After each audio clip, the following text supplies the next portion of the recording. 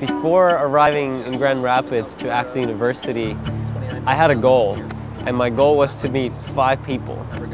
And in the first two days, I met upwards of 20 people, ranging from people from Latin America, uh, where I'm from, uh, to people from the United States, uh, people from Africa, people from Europe, and uh, it's definitely been a wonderful experience to meet so many people from different backgrounds and to be able to learn from them.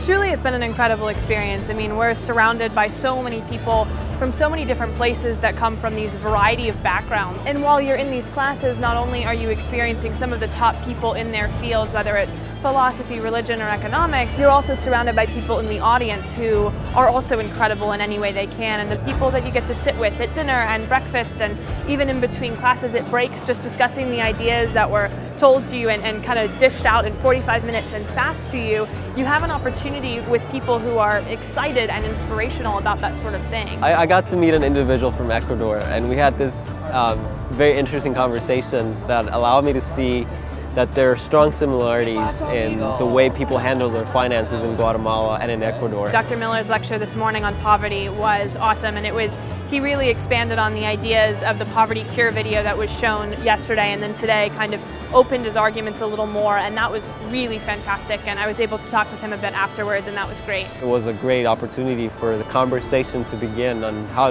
how we really, really address poverty because it's not about handing things out but helping people uh, teaching them how to fish, so to speak. I think right before Acton University, I was a bit scared of being able to express my stand on issues like marriage because my generation really likes for things to be relative.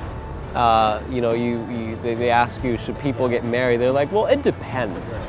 Um, but I had never thought of it as as an important component of a free society. It's this beautiful union between being mentally exhausted and being so excited off of simply ideas that are being expressed and talked about. And not just things that people are doing at home, but things that people want to get started and want to make connections and meet people here to make those dreams a reality in the future. Uh, so overall, it's been a fantastic experience and um, definitely not what I was expecting, but really uh, intense and wonderful. I am going to tell everyone I know to apply to Acton University.